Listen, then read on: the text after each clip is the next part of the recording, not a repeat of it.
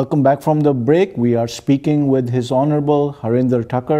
ਹਰਿੰਦਰ ਜੀ ਮਿਸਿਸਾਗਾ ਵਿੱਚ ਪੰਜ ਰਾਈਡਿੰਗਸ ਨੂੰ ਪੰਜ ਦੀ ਪੰਜ ਲਿਬਰਲ ਪਿਛਲੀ ਦਫਾ ਇਲੈਕਟ ਹੋਈਆਂ ਇਹਦਾ ਮਿਸਿਸਾਗਾ ਨੂੰ ਕੀ ਫਾਇਦਾ ਹੋਇਆ ਮੈਂ ਪਹਿਲਾਂ ਵੀ ਤੁਹਾਨੂੰ ਥੋੜਾ ਬਹੁਤਾ ਦੱਸ ਚੁੱਕਾ ਜੀ ਮੈਂ ਹਸਪੀਟਲ ਦੇ ਵਿੱਚ ਕੀ ਕੀਤਾ ਪਰ ਉਹ ਤੋਂ ਬਾਅਦ ਮੈਂ ਕਹਿਣਾ ਚਾਹੁੰਦਾ ਕਿ ਮਿਸੀਸਾਗਾ ਦੇ ਵਿੱਚ ਕੋਈ ਕਾਲਜ ਨਹੀਂ ਸੀਗਾ ਜੀ। ਤੇ ਹੁਣ ਸ਼ੈਡਨ ਕਾਲਜ ਦਾ ਕੈਂਪਸ ਬਣਿਆ, ਜਿਹਦੇ ਵਿੱਚ ਤਕਰੀਬਨ 1700 ਸਟੂਡੈਂਟਸ ਨੂੰ ਟ੍ਰੇਨਿੰਗ ਮਿਲਣੀ ਆ। ਤੇ ਇਹਦੇ ਨਾਲ ਨਾਲ ਅਸੀਂ ਦੀ ਸੈਕੰਡ ਸੈਕੰਡ ਫੇਜ਼ ਦੀ ਵੀ ਡਿਵੈਲਪਮੈਂਟ ਕਰ ਰਹੇ ਹਾਂ, ਜਿਹਦੇ ਵਿੱਚ 1300 ਸਟੂਡੈਂਟਸ ਹੋਰ ਹੋਗੇ ਜੀ।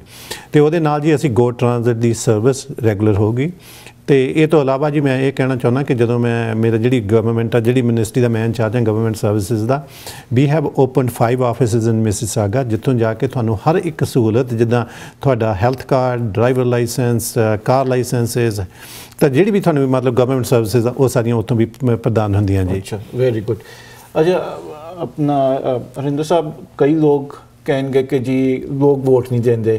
ਕਹਿੰਦੇ ਨੇ ਕਿ ਜੀ ਚਾਹੇ ਲਿਬਰਲ ਆ ਜਾਣ ਜਾਂ ਕੰਜ਼ਰਵੇਟਿਵ ਆ ਜਾਣ ਐਨਡੀਪੀ ਆ ਜਾਣ ਕੰਮ ਤਾਂ ਉਹਨਾਂ ਨੇ ਹੀ ਕਰਨਾ ਹੈ। ਚਾਹੇ ਓਬਾਮਾ ਹੋਏ ਬੁਸ਼ ਹੋਏ ਗਵਰਨਮੈਂਟ ਇੱਕੋ ਹੀ ਹੈ। ਤੇ ਤੁਸੀਂ ਲੋਕਾਂ ਨੂੰ ਦੱਸੋ ਕਿ ਵੀ ਕਿਉਂ ਲਿਬਰਲ ਨੂੰ ਵੋਟ ਦੇਣ ਕਿ ਅਗਰ ਕੰਜ਼ਰਵੇਟਿਵ ਗਵਰਨਮੈਂਟ ਆਂਦੀ ਹੈ ਐਨਡੀ ਗਵਰਨਮੈਂਟ ਆਂਦੀ ਹੈ ਤੇ ਕੀ ਹੋ ਜਾਏਗਾ? ਉਹ ਮੈਂ ਦੋ ਗੱਲਾਂ ਕਰਨੀਆਂ ਚਾਹੁੰਦਾ ਜੀ। ਇੱਕ ਤਾਂ ਮੈਂ ਕਹੂੰਗਾ ਕਿ ਤੁਸੀਂ ਸਾਡਾ ਪਿਛਲੇ 8 ਸਾਲ ਦਾ ਰੈਕੋਰਡ ਦੇਖ ਲਓ ਕਿ ਜਿੰਨਾ ਮਿਸੀਸਾਗਾ ਦੇ ਵਿੱਚ ਕੰਮ ਹੋਇਆ ਜਾਂ ਪੀਲ ਰੀਜਨ ਦੇ ਵਿੱਚ ਕੰਮ ਹੋਇਆ ਮੇਰੇ ਖਿਆਲ ਕਿਤੇ ਕਿਸੇ ਵੀ ਗਵਰਨਮੈਂਟ ਨੇ ਅੱਜ ਤੱਕ ਨਹੀਂ ਕੀਤਾ। ਹਸਪੀਟਲਸ ਲਈ ਐਜੂਕੇਸ਼ਨ ਸਿਸਟਮ ਦੇ ਲਈ ਟਰਾਂਸਪੋਰਟੇਸ਼ਨ ਦੇ ਲਈ ਜਾਂ ਹੋਰ ਵੀ ਜਿਹੜੀਆਂ ਗਵਰਨਮੈਂਟ ਸਰਵਿਸਿਜ਼ ਦਾ ਉਹਦੇ ਲਈ ਜੀ। ਦੂਸਰਾ ਮੈਂ ਸਮਝਦਾ ਜੀ ਕਿ ਜਿਹੜੀਆਂ ਸਾਡੀਆਂ ਲਿਬਰਲ ਵੈਲਿਊਜ਼ ਨੇ ਜੀ, ਉਹ ਸਾਡੀਆਂ ਵੈ- ਸਾਡੀਆਂ ਜਿਹੜੀਆਂ ਅਸੀਂ ਵੈਲਿਊਜ਼ ਪਿੱਛੋਂ ਲੈ ਕੇ ਆਏ ਹਾਂ, ਉਹਨਾਂ ਦੇ ਨਾਲ ਬਿਲਕੁਲ ਸਹਿਮਤ ਹੁੰਦੀਆਂ ਜੀ। ਇੱਕ ਤਾਂ ਇਹ ਹੈ ਕਿ ਨਾ ਅਸੀਂ ਬਾਹਲਾ ਰਾਈਟ ਤੇ ਜਾਣਾ ਚਾਹੁੰਦੇ ਹਾਂ ਤਾਂ ਕਿ ਸਰਵਿਸਿਜ਼ ਨੂੰ ਕੱਟ ਲੱਗੇ। ਨਾ ਬਾਹਲਾ ਲੈਫਟ ਤੇ ਜਾਣਾ ਚਾਹੁੰਦੇ ਹਾਂ ਤਾਂ ਕਿ ਜਿਹੜਾ ਬਿਜ਼ਨਸ ਨੂੰ ਨੁਕਸਾਨ ਹੋਵੇ। So we move right in the middle ਜੀ।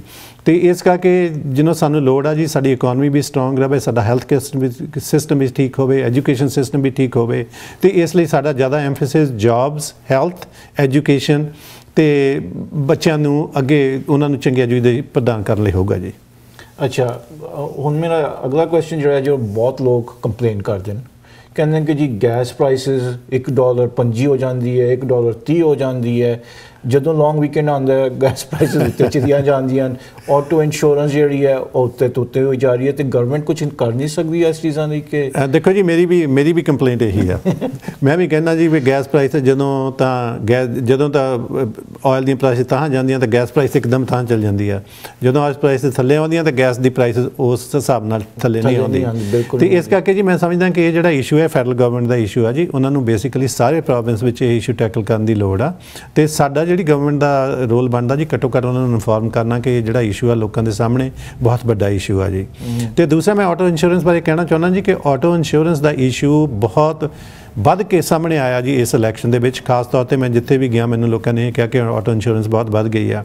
ਇਸ ਕਰਕੇ ਸਾਡੇ ਪ੍ਰੀਮੀਅਰ ਨੇ ਵੀ ਪ੍ਰੀਮੀਅਰ ਸਾਹਿਬ ਨੇ ਵੀ ਇਹੀ ਕਿਹਾ ਸੀਗਾ ਜੀ ਕਿ ਸਾਨੂੰ ਇੱਕ ਕਮਿਸ਼ਨ ਬਣਾਉਣ ਦੀ ਲੋੜ ਆ, ਜਿਹੜਾ ਆਟੋ ਇੰਸ਼ੋਰੈਂਸ ਕੰਪਨੀਆਂ ਦੇ ਨਾਲ ਵੀ, ਉਹਨਾਂ ਨੂੰ ਵੀ ਕ- ਕਹੇ ਕਿ ਆਟੋ ਇੰਸ਼ੋਰੈਂਸ ਨੂੰ ਘਟਾਉਣ ਦੀ ਲੋੜ ਆ, ਸਾਨੂੰ ਇਹ ਵੀ ਦੇਖਣ ਦੀ ਲੋੜ ਆ ਕਿ ਰੂਲਸ ਐਂਡ ਰੈਗੂਲੇਸ਼ਨ ਜੇ ਕੋਈ ਹੈਗੇ ਆ, ਜਾਂ ਜਿਹੜੀਆਂ ਸਾਡੀਆਂ ਲਿਮਿਟਸ ਆ ਇੰਸ਼ੋਰੈਂਸ ਦੀਆਂ ਵੀ, ਉਹਨਾਂ ਨੂੰ ਵੀ ਦੇਖਣ ਦੀ ਲੋੜ ਆ। ਪਰ ਤੀਸਰਾ ਹੈ ਜੀ, ਲੋਕਾਂ ਨੂੰ ਕੰਸਲਟ ਕਰਨ ਦੀ ਵੀ ਲੋੜ ਆ, ਬਈ ਜੇ ਥੋੜਾ ਬਹੁਤਾ ਕਿਤੇ ਫਰਾਡ ਹੋ ਰਿਹਾ ਜਾਂ ਮਿਸਯੂਜ਼ ਹੋ ਰਿਹਾ, ਉਹਨੂੰ ਕਿਦਾਂ ਘਟਾਇਆ ਜਾ ਸਕਦਾ। ਪਰ ਸਭ ਨਈ ਇਸ਼ੂ ਤਾਂ ਹੈ ਨਹੀਂ ਕਿਉਂਕਿ ਮੈਨੂੰ ਯਾਦ ਹੈ, ਇੱਕ ਵਾਰੀ ਪਿਛਲਾ ਇਲੈਕਸ਼ਨ ਹੋਇਆ ਸੀ ਜਦੋਂ ਬੌਬਰੇ ਸਾਹਿਬ ਇਲੈਕਟ ਹੋਏ ਸੀ, ਉਹਨਾਂ ਦਾ ਇਲੈਕਸ਼ਨ ਪ੍ਰੋਮਿਸ ਸੀ ਕਿ ਜੀ ਮੈਂ ਪਬਲਿਕ ਆਟੋ ਇੰਸ਼ੋਰੈਂਸ ਲੈ ਕੇ ਆਵਾਂਗਾ, ਠੀਕ ਹੈ?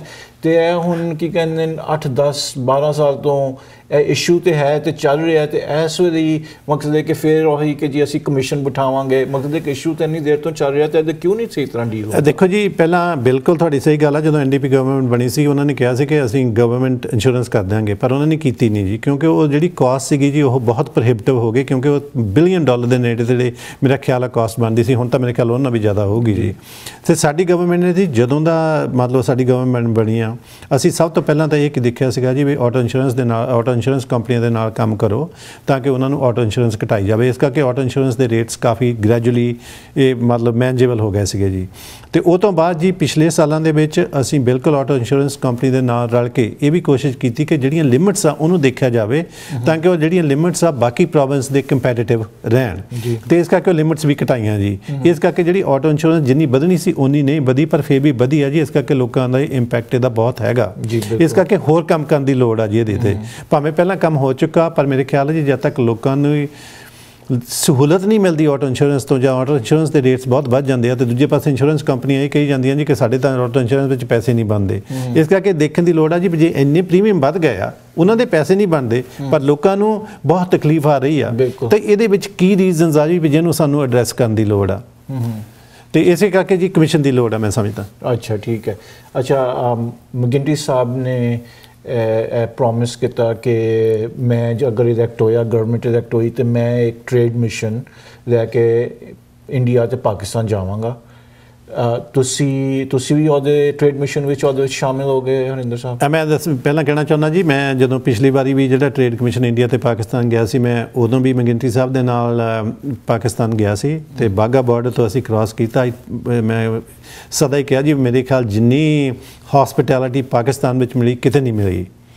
ਤੇ ਉਹ ਤੋਂ ਬਾਅਦ ਅਸੀਂ ਲਾਹੌਰ ਵੀ ਗਏ ਜੀ ਇਸਲਾਮਾਬਾਦ ਵੀ ਗਏ ਤੇ ਮੈਂ ਥੋੜਾ ਜਿਹਾ ਸਾਈਡ ਟ੍ਰਿਪ ਵੀ ਲਿਆ ਕਿਉਂਕਿ ਮੈਂ ਨਨਕਾਣਾ ਸਾਹਿਬ ਤੇ ਪੰਜਾ ਸਾਹਿਬ ਵੀ ਜਾਣਾ ਚਾਹੁੰਦਾ ਸੀਗਾ ਜੀ। ਤੇ ਇਸ ਕਰਕੇ ਜੀ ਮੈਨੂੰ ਤਾਂ ਬਹੁਤ ਚੰਗਾ ਲੱਗਿਆ ਖਾਸ ਕਰਕੇ ਮੈਨੂੰ ਇਸਲਾਮਾਬਾਦ ਤੇ ਬਹੁਤ ਪਸੰਦ ਸੀਗਾ। ਤੇ ਲਾਹੌਰ ਵਿੱਚ ਵੀ ਜੀ ਆਈ ਵਾਸ ਕੁਆਇਟ ਇੰਪ੍ਰੈਸਡ ਬਈ ਜੋ ਕੁਝ ਉੱਥੇ ਹੋ ਰਿਹਾ। ਤੇ, ਮੈਨੂੰ ਤਾਂ ਜੀ ਮਤਲਬ I this is my second time ਸੀਗਾ। ਉਦੋਂ ਮੈਂ ਪਹਿਲਾਂ ਪ੍ਰਾਈਮ ਮਿਨਿਸਟਰ ਕ੍ਰੈਚਨ ਦੇ ਨਾਲ ਜਦੋਂ ਉਹ ਟ੍ਰਿਪ ਲੈ ਕੇ ਗਏ ਸੀ ਟੀਮ ਕੈਨੇਡਾ ਦਾ ਉਦੋਂ ਵੀ ਗਿਆ ਸੀਗਾ ਜੀ। ਇਸ ਕਰਕੇ ਮੈਂ ਦੋ ਵਾਰ ਜਾਇਆ ਜੀ ਪਾਕਿਸਤਾਨ ਤੇ ਮੈਨੂੰ ਤੇ ਬਹੁਤ ਚੰਗਾ ਲੱਗਦਾ ਪਾਕਿਸਤਾਨ। ਤੇ ਇਹ ਜਿਹੜੇ ਟ੍ਰੇਡ ਮਿਸ਼ਨ ਜਾਂਦੇ ਨੇ ਇਹਨਾਂ ਦਾ ਕੋਈ ਰਿਜ਼ਲਟ ਵੀ ਹੁੰਦਾ ਹੈ ਕੋਈ ਫਾਇਦਾ ਵੀ ਹੁੰਦਾ ਹੈ ਕਿ ਇੱਕ ਕਿਸਮ ਦੀ ਪਬਲਿਕ ਰਿਲੇਸ਼ਨਸ ਐਕਸਰਸਾਈਜ਼ ਹੁੰਦੀ ਹੈ? ਦੇਖੋ ਜੀ ਮੈਂ ਸਮਝਦਾ ਵੀ ਸਾਡੀ ਜਿਹੜੀ ਬਾਹਲੀ ਟ੍ਰੇਡ ਆ ਯੂਐਸ ਦੇ ਨਾਲ ਆ ਜੀ। ਹੁਣ ਯੂਐਸ ਦੀ ਇਕਨੋਮੀ ਦਾ ਤੁਹਾਨੂੰ ਪਤਾ ਬਾਹਲੀ ਕੋਈ ਚੰਗੀ ਨਹੀਂ ਹੈਗੀ। ਇਸ ਕਰਕੇ ਸਾਨੂੰ ਨਵੀਆਂ ਮਾਰਕੀਟਸ ਖੋਲਣ ਦੀ ਲੋੜ ਆ। ਇਸੇ ਕਰਕੇ ਪ੍ਰਾਈਮ ਮਿਨਿਸਟਰ ਕ੍ਰੈਚਨ ਨੇ ਟ੍ਰਿਪ ਲਿਆ ਸੀ। ਇਸੇ ਕਰਕੇ ਮੇਰੇ ਸਾਡੇ ਪ੍ਰੀਮੀਅਰ ਮਗਿੰਟੀ ਨੇ ਟ੍ਰਿਪ ਲਿਆ। ਸਾਡੀ ਖਾਸ ਤੌਰ ਤੇ ਜਿਹੜੀਆਂ ਮਾਰਕੀਟਸ ਆ ਜੀ ਇੰਡੀਆ ਤੇ ਪਾਕਿਸਤਾਨ ਨੂੰ ਸਾਡੀਆਂ ਮਾਰਕੀਟਸ ਨੂੰ ਖੋਲਣ ਦੀ ਲੋੜ ਆ। ਮੈਂ ਸਮਝਦਾ ਜੀ ਦੇਖੋ ਟ੍ਰਿਪਸ ਦੇ ਵਿੱਚ ਤਾਂ ਤੁਸੀਂ ਅਵੇਅਰਨੈਸ ਕ੍ਰੀਏਟ ਕਰਦੇ ਆ। ਬਿਲਕੁਲ ਤੇ ਬਾਕੀ ਜਿਹੜੇ ਕੰਟਰੈਕਟ ਵਗੈਰਾ ਸਾਈਨ ਹੁੰਦੇ ਆ ਜੀ ਉਹ ਪਹਿਲਾਂ ਵੀ ਚੱਲਦੇ ਹੁੰਦੇ ਆ ਥੋੜੇ ਉਦੋਂ ਵੀ ਹੋ ਸਕਦੇ ਆ। ਪਰ ਇਹਦੇ ਨਾਲ ਜੀ ਘੱਟੋ ਘੱਟ ਇਹ ਪਤਾ ਲੱਗਦਾ ਵੀ ਕਿ ਸਾਡੀਆਂ ਕੰਪਨੀਆਂ ਜਿਹੜੀਆਂ ਇੱਥੇ ਹੈਗੀਆਂ, ਉਹਨਾਂ ਦੇ ਕੀ ਸਕਿੱਲਸ ਆ, ਜਿਹੜੀਆਂ ਉੱਥੇ ਦੀਆਂ ਕੰਪਨੀਆਂ ਕਿ ਉਹਨਾਂ ਦੇ ਸਕਿੱਲਸ ਕੀ ਆ ਤੇ ਕਿੱਦਾਂ ਜੁਆਇੰਟਲੀ ਅਸੀਂ ਇਕੱਠੇ ਕੰਮ ਕਰ ਸਕਦੇ ਹਾਂ। ਹਰਿੰਦਰ ਸਾਹਿਬ, ਤੁਸੀਂ ਇਕਨੋਮੀ ਦੇ ਮੁਤਾਬਿਕ ਗੱਲ ਕੀਤੀ। 2008 ਵਿੱਚ ਸਾਡਾ ਬੜਾ ਵੱਡਾ ਰਿਸੈਸ਼ਨ ਆਇਆ ਸੀ। ਹੁਣ ਲੋਕਾਂ ਨੂੰ ਫੇਰ ਖਤਰਾ ਪਿਆ ਹੋਇਆ ਹੈ ਕਿ ਜੀ ਦੁਬਾਰਾ ਰਿਸੈਸ਼ਨ ਆ ਰਿਹਾ ਹੈ ਜਾਂ ਨਹੀਂ ਆ ਰਿਹਾ। ਸਟਾਕ ਮਾਰਕੀਟ ਥੋੜੀ ਜਿਹੀ ਉੱਤੇ ਜਾਂਦੀ ਹੈ, ਇੱਕ ਦਿਨ ਜ਼ਿਆਦਾ ਥੱਲੇ ਆਂਦੀ ਹੈ। ਤੇ ਤੁਸੀਂ ਸਾਨੂੰ ਦੱਸੋ ਕਿ 2008 ਤੋਂ ਅਸੀਂ ਕੀ ਲੈਸਨਸ ਲਰਨਡ ਕੀਤੇ ਤੇ ਹੁਣ ਅਸੀਂ ਕਿਸ, ਕਿੰਨੇ ਪ੍ਰਿਪੇਅਰ ਹਾਂ ਪਹਿਲੇ ਤੋਂ? ਮੈਂ ਪਹਿਲੀ ਗੱਲ ਤਾਂ ਮੈਂ ਕਹਿਣਾ ਚਾਹੁੰਦਾ ਜੀ, ਸਾਡੀ ਇਕਨੋਮੀ 2008 ਤੇ 9 ਦੇ ਵਿੱਚ ਵੀ ਮੇਰੇ ਖਿਆਲ ਵਰਲਡ ਦੇ ਕੰਪੈਟੀਟਿਵਲੀ ਜੀ ਕਾਫੀ ਚੰਗੀ ਰਹੀ। ਖਾਸ ਤੌਰ ਤੇ ਜਿਹੜਾ ਸਾਡਾ ਬੈਂਕਿੰਗ ਸੈਕਟਰ ਸੀਗਾ ਜੀ, ਉਹ ਕਾਫੀ ਸਟਰੋਂਗ ਸੀਗਾ ਤੇ ਬਾਕੀ ਜਿਹੜੀ ਅਸੀਂ ਸਟਿਮੂਲਸ ਪੈਕੇਜ ਕੀਤਾ ਫੈਡਰਲ ਗਵਰਨਮੈਂਟ ਦੇ ਨਾਲ ਰਲ ਕੇ, ਉਹਦੇ ਅਧੀਨ ਮੇਰੇ ਖਿਆਲ ਮਿਸਿਕਾ ਦੇ ਵਿੱਚ 200 ਦੇ ਨੇੜੇ ਤੇੜੇ ਪ੍ਰੋਜੈਕਟ ਚੱਲ ਰਹੇ ਆ ਜੀ। ਉਹਦੇ ਨਾਲ ਸਾਡੀ ਜੌਬ ਸਿਚੁਏਸ਼ਨ ਜੀ ਭਾਵੇਂ ਅਸੀਂ 3 ਲੱਖ ਦੇ ਨੇੜੇ ਤੇੜੇ ਇੱਥੇ ਜੌਬਸ ਘਟ ਗਈਆਂ ਸੀਗੀਆਂ। ਜੀ, ਜੀ। ਪਰ ਫਿਰ ਵੀ ਇਕਨੋਮੀ ਕੰਪੈਰੀਟਿਵਲੀ ਚੰਗੀ ਰਹੀ ਜੀ। ਤੇ ਮੈਨੂੰ ਦੱਸਦੇ ਆ ਬੜੀ ਖੁਸ਼ੀ ਹੋ ਰਹੀ ਹੈ ਜੀ ਕਿ ਤਕਰੀਬਨ ਇਸ ਸਾਲ ਦੇ ਵਿੱਚ ਸਿਰਫ ਉਹ 3 ਲੱਖ ਜੌਬਸ ਹੀ ਅਸੀਂ ਵਾਪਸ ਨਹੀਂ ਆ ਗਈਆਂ ਸਗੋਂ 20% ਮੋਰ ਜੌਬਸ ਵਾਪਸ ਆ ਗਈਆਂ ਜੀ। ਇਸ ਕਰਕੇ ਜਿਹੜੀ ਇਕਨੋਮੀ ਦੀ ਹਾਲਤ ਇੰਟੀਰੀਅਰ ਦੇ ਵਿੱਚ ਆ ਜੀ ਉਹ ਕਾਫੀ ਚੰਗੀ ਆ। ਜਿੰਨੀਆਂ ਅਸੀਂ ਇੱਥੇ ਜੌਬਸ ਕ੍ਰੀਏਟ ਕੀਤੀਆਂ ਉਹਨੀਆਂ ਸਾਰੀਆਂ ਯੂਐਸ ਕੰਬਾਈਨਡ ਦੇ ਵਿੱਚ ਵੀ ਨਹੀਂ ਕ੍ਰੀਏਟ ਕੀਤੀਆਂ ਗਈਆਂ ਜਾਂ ਕਿਸੇ ਹੋਰ ਪ੍ਰੋਵਿੰਸ ਵਿੱਚ ਨਹੀਂ ਹੋਈਆਂ। ਪਰ ਫਿਰ ਵੀ ਜੀ ਜਿਹੜੀ ਵਰਲਡ ਦੀ ਇਕਨੋਮੀ ਹੈ ਨਾ ਉਹ ਬਹੁਤ ਮੈਂ ਕਹਿੰਦਾ ਜੀ ਸ਼ੇਕੀ ਕੰਡੀਸ਼ਨਸ ਦੇ ਵਿੱਚ ਹੈਗੀ ਆ। ਜੀ। ਇਸੇ ਕਰਕੇ ਜੀ ਸਟੇਬਲਸ ਗਵਰਨਮੈਂਟ ਦੀ ਲੋੜ ਆ। ਇਸੇ ਕਰਕੇ ਹਾਰਪਰ ਉਹਨਾਂ ਨੇ ਕਿਹਾ ਸੀਗਾ ਵੀ ਸਾਨੂੰ ਸਟੇਬਲ ਗਵਰਨਮੈਂਟ ਦੀ ਲੋੜ ਆ। ਇਸੇ ਕਰਕੇ ਮੈਂ ਸਮਝਦਾ ਇੰਟੀਰੀਅਰ ਦੇ ਵਿੱਚ ਸਟੇਬਲ ਗਵਰਨਮੈਂਟ ਦੀ ਲੋੜ ਆ। ਤੇ ਇਹੋ ਜਿਹੀ ਦੀ ਗਵਰਨਮੈਂਟ ਦੀ ਲੋੜ ਆ ਜੀ ਜਿਹੜੀ ਸੈਂਟਰਲ ਗਵਰਨਮੈਂਟ ਲਈ ਦੇ ਅਗੇਂਸਟ ਵੀ ਸਟੈਂਡ ਅਪ ਹੋ ਸਕੇ ਤੇ ਆਪਣੇ ਪ੍ਰੋਵਿੰਸ ਲਈ ਚੰਗੇ ਫਾਈਟ ਵੀ ਦੇ ਸਕੇ ਜੀ ਇਹ ਕੈਨੇਡਾ ਦੇ ਵਿੱਚ। ਤੇ 2008 ਵਿੱਚ ਤੇ ਗਵਰਨਮੈਂਟ ਨੇ ਓਨਟਾਰੀਓ ਗਵਰਨਮੈਂਟ ਨੇ ਤੇ ਫੈਡਰਲ ਗਵਰਨਮੈਂਟ ਨੇ ਮਿਲ ਕੇ ਸਟਿਮੂਲਸ ਪੈਕੇਜ ਲਿਆ ਤੇ ਤੁਸੀਂ ਕਿਹਾ ਕਿ ਉਹ ਜੋ ਸਟਿਮੂਲਸ ਪੈਕੇਜ ਆਇਆ ਉਹਦੇ ਹੁਣੇ ਵੀ ਪ੍ਰੋਜੈਕਟਸ ਚੱਲ ਰਹੇ ਨੇ। ਹਾਂਜੀ। ਤੇ ਹੁਣ ਤੁਹਾਡਾ ਕੀ ਖਿਆਲ ਹੈ ਕਿ ਹੁਣ ਵੀ ਸਟਿਮੂਲਸ ਪੈਕੇਜ ਵਗੈਰਾ ਆਏਗਾ ਅਗਰ ਇਕਨੋਮੀ ਮਕਸਦ ਹੈ ਕਿ ਥੱਲੇ ਜਾਂਦੀ ਹੈ? ਮੈਂ ਸਮਝਦਾ ਜੀ, ਦੇਖੋ, ਉਹ 2008 ਦੇ ਵਿੱਚ ਇਹ ਵੀ ਇਸ਼ੂ ਸੀਗਾ ਜੀ ਵੀ ਸਾਡੀ ਆਟੋ ਇੰਡਸਟਰੀ ਦੇ ਵਿੱਚ ਕਾਫੀ ਟਰਬਲ ਆਈ ਸੀ।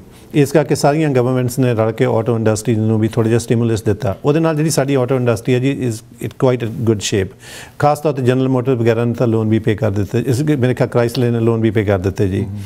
ਪਰ ਉਹਦੇ ਨਾਲ ਇਹ ਬਣਦਾ ਜੀ, ਜਿਹੜੀ ਇੱਕ ਜੌਬ ਕ੍ਰਾਈਸਲਰ ਜਾਂ ਜਨਰਲ ਮੋਟਰ ਜਾਂ ਫੋਰਡ ਦੇ ਵਿੱਚ ਕ੍ਰੀਏਟ ਹੁੰਦੀ ਹੈ, ਉਹਦੇ ਨਾਲ 6 ਜੌਬਸ ਹੋਰ ਵੀ ਕ੍ਰੀਏਟ ਹੁੰਦੀਆਂ। ਜੇ ਉਹ ਇਕਨੋਮੀ ਸਟੇਬਲ ਹੋ ਜਾਂਦੀ ਹੈ, ਇਹਦੇ ਨਾਲ ਬਾਕੀ ਵੀ ਇਕਨੋਮੀ ਸਟੇਬਲ ਹੋ ਜਾਂਦੀ ਹੈ। ਤੇ ਬਾਕੀ ਜੀ, ਇਹਨਾਂ ਦੋ ਸਾਲਾਂ ਦੇ ਵਿੱਚ ਜਿਹੜੀ ਫੰਡਾਮੈਂਟਲ ਰੀਸਟਰਕਚਰਿੰਗ ਹੋ ਗਈ ਜੀ ਸਾਡੀ ਇੰਡਸਟਰੀ ਦੇ ਵਿੱਚ। ਜਿਹਨੂੰ ਮਤਲਬ ਜਿੰਨੇ ਕਿ ਉਹਨਾਂ ਦੇ ਵਿੱਚ ਕੋਈ ਫੈਟ ਸੀਗੀ ਜੀ ਉਹਨਾਂ ਨੇ ਕੱਢ ਦਿੱਤੀ ਤੇ ਮਤਲਬ ਆਟੋਮੇਸ਼ਨ ਕਰ ਲਈ ਤੇ ਆਟੋਮੇਸ਼ਨ ਵਿੱਚ ਗਵਰਨਮੈਂਟ ਨੇ ਵੀ ਅਸਿਸਟੈਂਸ ਕੀਤੀ ਤੇ ਨਵੀਂ ਇੰਡਸਟਰੀ ਵੀ ਕ੍ਰੀਏਟ ਹੋ ਗਈ ਜਿੱਦਾਂ ਗ੍ਰੀਨ ਇੰਡਸਟਰੀ ਆ ਜੀ ਤੇ ਜਿਹਦੇ ਵਿੱਚ ਜੌਬਸ ਕ੍ਰੀਏਟ ਹੋਈਆਂ। ਸੋ ਮੈਂ ਸਮਝਦਾ ਜੀ ਕਿ ਸਾਡੀ ਜਿਹੜੀ ਇਕਨੋਮੀ ਆ ਇਜ਼ ਇਨ ਸਾਊਂਡ ਫੁਟਿੰਗ ਪਰ ਫਿਰ ਵੀ ਜੀ ਮਤਲਬ you need to have a strong leadership in interior ਤਾਂ ਕਿ we can keep on moving forward rather than moving backward ਠੀਕ ਹੈ। ਰਿੰਦਰ ਸਾਹਿਬ, ਮੈਨੂੰ ਪਤਾ ਹੈ ਕਿ ਅਸੀਂ ਸਾਡੇ ਕੋਲ ਤਾਂ ਬਹੁਤ ਕੁਐਸਚਨ ਤੇ ਬਹੁਤ ਚੀਜ਼ਾਂ ਤੇ ਤੁਹਾਡੇ ਨਾਲ ਡਿਸਕਸ਼ਨ ਹੋ ਸਕਦੀ ਹੈ, ਲੇਕਿਨ ਮੈਨੂੰ ਇਹ ਵੀ ਪਤਾ ਹੈ ਕਿ ਤੁਸੀਂ ਬਹੁਤ ਬਿਜ਼ੀ ਹੋ ਤੇ ਜਾਣ ਤੋਂ ਪਹਿਲੇ ਤੁਸੀਂ ਸਾਡੇ ਵਿਊਅਰਸ ਨੂੰ ਕੀ ਮੈਸੇਜ ਦੇਣਾ ਚਾਹੋਗੇ? ਤੁਸੀਂ ਮੈਸੇਜ ਇੱਕ ਤੇ ਜੀ ਮੈਂ ਪਹਿਲਾਂ ਬਹੁਤ ਬਹੁਤ ਧੰਨਵਾਦ ਕਰਨਾ ਚਾਹੁੰਦਾ ਮਿਸ ਮਿਸਾਗਾ ਐਰਨਡੇਲ ਦੇ ਸਾਰੇ ਰੈਜ਼ੀਡੈਂਟਸ ਦਾ ਕਿ ਉਹਨਾਂ ਨੇ ਮੈਨੂੰ 8 ਸਾਲਾਂ ਦੇ ਵਿੱਚ ਬਹੁਤ ਸਹਿਯੋਗ ਤੇ ਪਿਆਰ ਦਿੱਤਾ। ਤੇ ਹੁਣ ਅਕਤੂਬਰ ਦੀ 6 ਇਲੈਕਸ਼ਨ ਵਿੱਚ ਮੈਂ ਉਹਨਾਂ ਨੂੰ ਅਪੀਲ ਕਰਨੀ ਚਾਹੁੰਦਾ ਕਿ ਜਿਹੜੀ ਇਹ ਇਲੈਕਸ਼ਨ ਆ, ਇਹਦੇ ਬਹੁਤ ਟਾਈਟ ਇਲੈਕਸ਼ਨ ਆ। ਮੈਨੂੰ ਹਰ ਇੱਕ ਵੋਟ ਦੀ ਲੋੜ ਆ ਤੇ ਮੇਰੀ ਬੇਨਤੀ ਆ ਕਿ ਹਰ ਇੱਕ ਰੈਜ਼ੀਡੈਂਟ ਜਿਹੜਾ ਵੀ ਮੇਰਾ ਮੈਸੇਜ ਸੁਣ ਰਿਹਾ ਪਲੀਜ਼ ਜਾ ਕੇ ਅਕਤੂਬਰ 6 ਨੂੰ ਵੋਟ ਕਰੋ।